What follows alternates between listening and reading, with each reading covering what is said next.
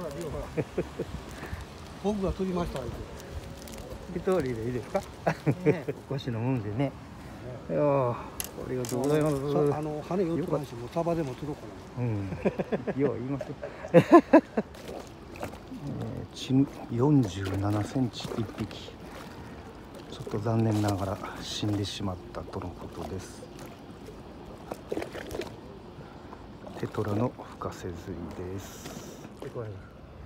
朝ナブラすごかったよあ、ナブラ立ちましたか？はいえー、サバも50匹釣れたらまあちゃんと回遊したんですよね。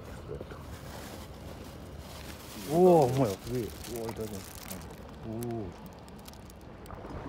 えー、と午前7時台はちょっとサバの超過も全体的に悪いんですが、えー外向き早朝6時台ぐらいまではえーナブラも立ってサバもどんどん釣れたとのことです。